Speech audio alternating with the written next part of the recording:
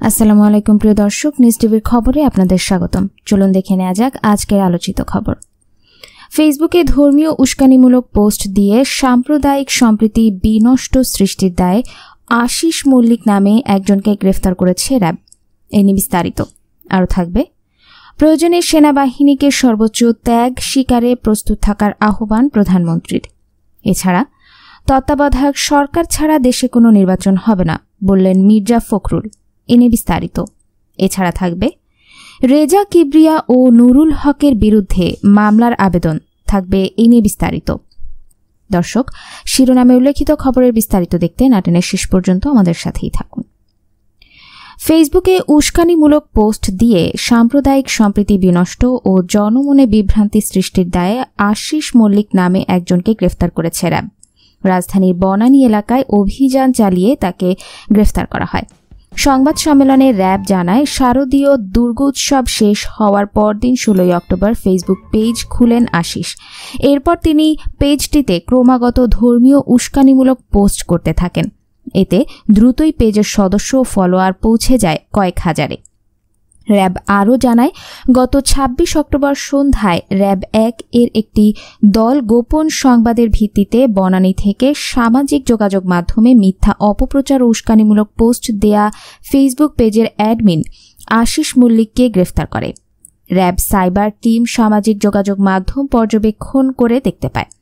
কুমিল্লার ঘটনাকে কেন্দ্র করে কিছু ব্যক্তি বাংলাদেশের সাম্প্রদায়িক সম্প্রীতি বিনষ্ট করতে মিথ্যা ও উস্কানিমূলক বক্তব্য পোস্ট করে আসছে।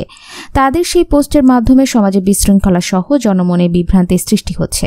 এছাড়াও একটি স্বার্থন্বেষী মহল সামাজিক যোগাযোগ মাধ্যমে বিভিন্ন গুজব ও মিথ্যা তথ্য পরিবেশন করে সহিংসতার ইন্ধন দিয়ে আসছে।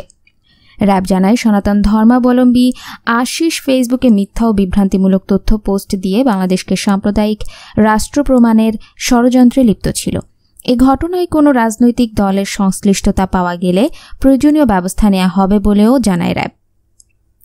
প্রধানমন্ত্রী শেখ হাসিনা প্রাকৃতিক দুর্যোগ মোকাবেলা সহ আর্থ সামাজিক উন্নয়নে বাংলাদেশ সেনাবাহিনীর গুরুত্বপূর্ণ অবদানের কথা স্মরণ করে দেশের সার্বভৌমত্ব রক্ষাসহ যে কোনো জাতীয় প্রয়োজনে এই বাহিনীকে সর্বোচ্চ ত্যাগ শিকারে সর্বদা প্রস্তুত থাকার আহ্বান জানিয়েছেন। তিনি বলেন, আমি বিশ্বাস করি বাংলাদেশের সার্বভৌমত্ব রক্ষা সহ জাতীয় যে কোনো প্রয়োজনে বাংলাদেশ সেনাবাহিনী সর্বোচ্চ ত্যাগ স্বীকারের সদা প্রস্তুত থাকবে। প্রধানমন্ত্রী শেখ হাসিনা মুজিব রেজিমেন্ট ও রওশন আরা রেজিমেন্টের কাছে নতুন পতাকা হস্তান্তর ও সেনাবাহিনীর দশটি ইউনিটকে ন্যাশনাল স্ট্যান্ডার্ড প্রদান অনুষ্ঠানে প্রধান অতিথির ভাষণে কথা বলেন। তিনি আজ সকালে তার সরকারি বাসভবন গণভবন থেকে অডিও কনফারেন্সের মাধ্যমে ভার্চুয়ালি এই অনুষ্ঠানে যুক্ত হন।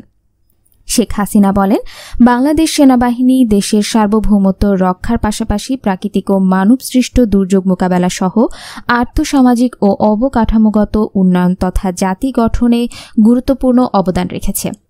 বর্তমানে দেশের যোগাযোগ ব্যবস্থার উন্নয়নে বাংলাদেশ সেনাবাহিনীর উল্লেখযোগ্য অবদান রয়েছে। সরকার প্রধান বলেন, অপারেশন কোভিড শিল্ড এর মাধ্যমে সেনাবাহিনীর সদস্যগণ করোনা প্রতিরোধ কল্পে অগ্রণী ভূমিকা পালন করেছে। প্রধানমন্ত্রী বলেন, বিশ্ব শান্তি প্রতিষ্ঠায় এবং বিভিন্ন বৈদেশিক মিশনে বাংলাদেশ সেনাবাহিনীর সদস্যরা তাদের আত্মত্যাগ, কর্তব্যনিষ্ঠা ও পেশাদারিত্বের মাধ্যমে বাংলাদেশের জন্য বয়ে এনেছে সম্মান ও মর্যাদা, যা বহির্বিশ্বে বাংলাদেশের ভাবমূর্তিকে অত্যন্ত উজ্জ্বল করেছে।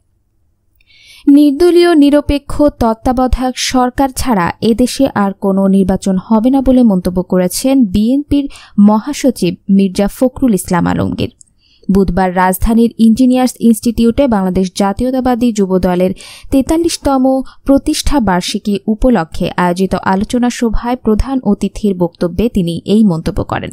মির্জা ফখরুল বলেন, আমরা পরিষ্কারভাবে বলে দিতে চাই, একটি নিরপেক্ষ, নির্দলীয় তত্ত্বাবধায়ক সরকার ছাড়া এদেশে কোনো নির্বাচন হবে না এবং একটি নিরপেক্ষ নির্বাচন কমিশন গঠন করতে হবে।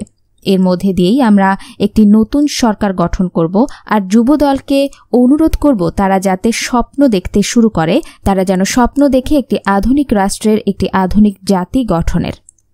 তিনি বলেন, শহীদ প্রেসিডেন্ট জিয়াউর রহমান যখন যুবদলের প্রতিষ্ঠা করছিলেন, তখন এমন একটি দল গঠন করতে চেয়েছিলেন যে দল ভবিষ্যতে বিএনপিকে নেতৃত্ব দেবে, রাষ্ট্রকে নেতৃত্ব দেবে এবং জাতি গঠনে সবচেয়ে বেশি ভূমিকা রাখবে।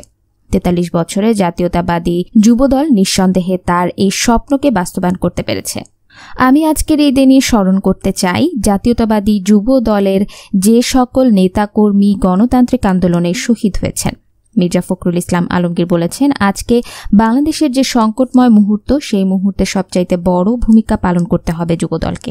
এই যুবদলের শক্তিকে কাজে লাগিয়ে সারা দেশের মানুষকে সংগঠিত করে এই ভয়াবহ দানবীয় যে সরকার আমাদের বুকের উপর চেপে বসে আছে, তাদেরকে পরাজিত করতে হবে। যে সরকার আমাদের গণতন্ত্রের মা দেশ নেত্রী বেগম খালেদা জিয়াকে দীর্ঘদিন ধরে আটক করে রেখেছে, আমাদের স্বপ্নের নেতা তারেক রহমানকে নির্বাসিত করে রেখেছে, অসংখ্য নেতাকর্মীকে মিথ্যা মামলা দিয়ে হয়রানি করছে, তাদেরকে পরাজিত করতে যুবদলকে সবচেয়ে বড় ভূমিকা রাখতে হবে। আজকের সংকট কাটিয়ে উঠতে চাইলে আমাদের ঐক্যবদ্ধভাবে আন্দোলন সংগ্রামে ঝাঁপিয়ে পড়তে হবে। তিনি বলেন, আমরা পরিষ্কার করে বলেছি, আমরা এই সরকার পরিবর্তন চাই। এই যুবকরাই সেই পরিবর্তন আনতে পারে, আর সেই পরিবর্তন আনতে হলে আজকে অবশ্যই আওয়ামী লীগ সরকারের পতন ঘটাতে হবে। নতুন ঘোষিত রাজনৈতিক দল গণ অধিকার পরিষদের আহ্বায়ক রেজা কিবরিয়া ও সদস্য সচিব নুরুল হক সহ তিনজনের বিরুদ্ধে মামলার আবেদন করা হয়েছে। বাংলাদেশ মুক্তিযুদ্ধ মঞ্চের কেন্দ্রীয় সাধারণ সম্পাদক মোহাম্মদ আল মামুনের করা এ আবেদন সাধারণ ডায়েরি হিসেবে গ্রহণ করেছে পুলিশ। সাম্প্রদায়িক হামলার নির্দেশ ও এতে মদতদানের অভিযোগে আজ বুধবার বিকেলে রাজধানীর শাহবাগ থানায় রেজা কিবরিয়া ও নুরুল হক ছাড়াও যুব অধিকার পরিষদের যুগ্ম আহ্বায়ক তারেক রহমানের বিরুদ্ধে মামলার ওই আবেদন করা হয়। তাদের বিরুদ্ধে রাষ্ট্রদ্রোহমূলক অপরাধের অভিযোগ করা হয়। ভোটের অধিকার আদায় আওয়ামী লীগের পথেই হারবে নুরুলদের দর বাংলাদেশ মুক্তিযুদ্ধ মঞ্চকে ভুইফোর ও দুর্বৃত্তদের সংগঠন উল্লেখ করে নুরুল হক বলেন, রাজনৈতিক দল গঠনের আগে থেকেই আমরা নানা ধরনের হুমকি ধমকি পেয়ে আসছিলাম। এমনকি ডাকসুর ভিপি থাকা অবস্থায়ও আমি সরকারি দলের নেতাকর্মীদের হামলা মামলার শিকার হয়েছি। প্রতিটি মামলাই ছিল ভিত্তিহীন ও হয়রানিমূলক। তিনি আরও বলেন, নতুন দল ঘোষণার পর আমাদের বিব্রত করা ও আমাদের সংগঠনকে প্রশ্নবিদ্ধ করার জন্য সাম্প্রদায়িক ইস্যু টেনে নানা প্রোপাগান্ডা চালানো হচ্ছে। এরা একটি সুবিধাবাদী গ্রুপ। এদের পেছনে দেশি বিদেশি কোনো দুষ্টচক্র আছে কিনা আমাদের সন্দেহ হচ্ছে।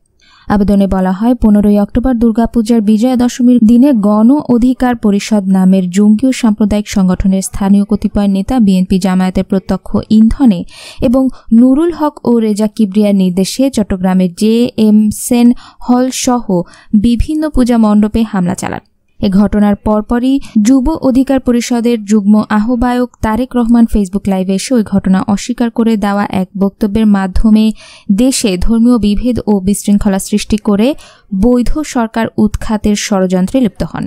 আবেদনে আরও বলা হয়, গত মঙ্গলবার ঢাকার পল্টনের প্রীতম জামান টাওয়ারে রেজা কিবরিয়া জামায়াতে ইসলামীর সঙ্গে জোট করে রাষ্ট্রবিরোধী ষড়যন্ত্রের ঘোষণা দিয়েছেন, যা দেশের প্রচলিত আইন ও মুক্তিযুদ্ধের চেতনার পরিপন্থী।